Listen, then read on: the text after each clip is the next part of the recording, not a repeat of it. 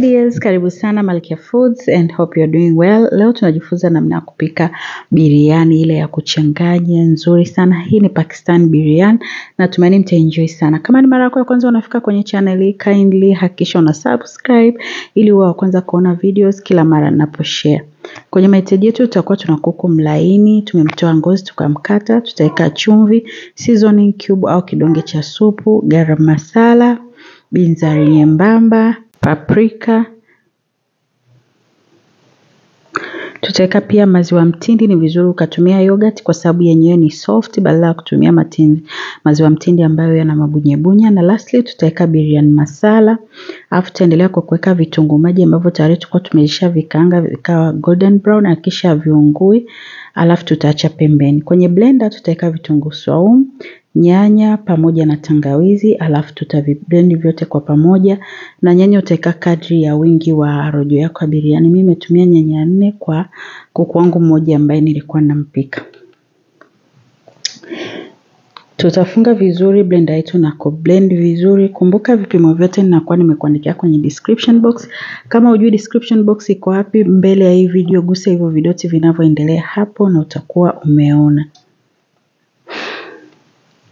Baada ya kublendi vizuri, utaongezea kwenye mchanganyiko wako wa mwanzo, alafu utachanganya vizuri kabisa, aidha kwa mkono au kwa mwiko, ni wewe tu. Na baada ya kuchanganya vizuri, unaweza ukaiacha kwa dakika thelathini mpaka lisali moja mpaka usiku mzima kama utapenda, lakini mimi kwa sababu nilikuwa napika kwa wakati huo, niliiacha kwa dakika kumi tu.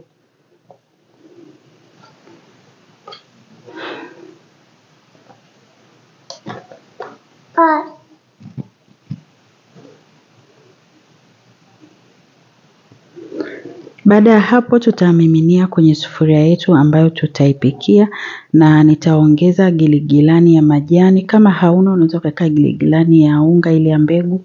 Tutaweka pia tomato paste kijiko kimoja. Tutaweka mafuta ya kupikia na nimechota yale ambayo nilikuwa nimekaangia vitunguu maji. Kisha utafunika na kuinjika jikoni kwa moto mdogo mdogo endelee kuiva. Wakati ikiendelea kuiva kwenye sufuria nyingine tutaweka maji ya kupikia wali wa biriani. Tutaweka mdalasini kama una wa vijiti ni vizuri zaidi. Mimi nimeweka wa unga na vipande vya limao. Baada ya muda rojo yetu itakuwa inaonekana kama hapa. Ichanganye tena vizuri, alafu utaipa tena muda ichemke mpaka iwe na uzito ambao utapenda, na hapo itakuwa iko tayari.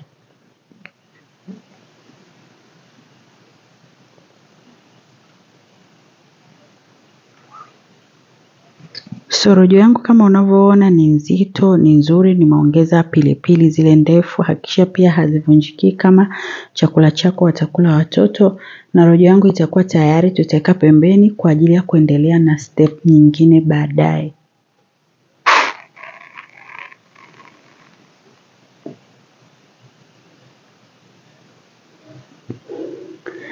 Sasa maji yetu ya mchele yamechemka, tutafunua na kwa sababu tumetumia malimao ya kienyeji yana tabia ya kuwa machachu au zile mbegu mtu anaweza kala zikawa chungu, tutachuja yale malimao pamoja na mbegu, tutarudisha maji jikoni, tutaweka mchele tuliosha vizuri ambao ni mchele wa basmati, chumvi pamoja na mafuta kiasi na tutachanganya vizuri kabisa, alafu tutafunika tuache hivi mpaka ikauke kama kwa asilimia tisini.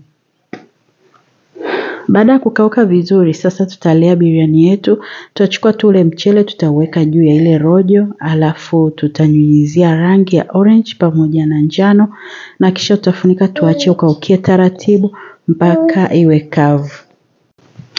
Ikikauka kabisa vizuri, nitachukua tena vitunguu maji ambavyo vilikuwa vimebaki mwanzoni na kuweka juu. Hii ni total option, sio lazima. Wengine wanapenda kuongeza pia, pia majani mengine ya giligilani.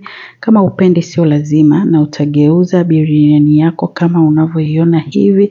Hakisha haikauki kupita kiasi, ili mradi ile rangi yako ikauke vizuri, na ile rojo isipokauka sana vizuri inaleta ladha nzuri, lakini biriani yako inakuwa soft na sio kavu sana.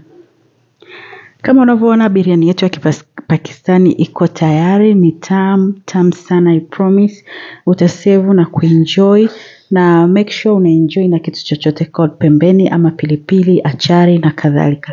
Natumaini utakuwa umejifunza tafadhali usahau kusubscribe ili unapo unapokuwa na post video unakuwa kwanza kuona lakini pia kulike comment na kushare. Uliza chochote kwenye comment section nitakuwa more than happy kukusaidia na utakuwa umejifunza na utafurahia. Hope tutaonana wakati mwingine. Bye dears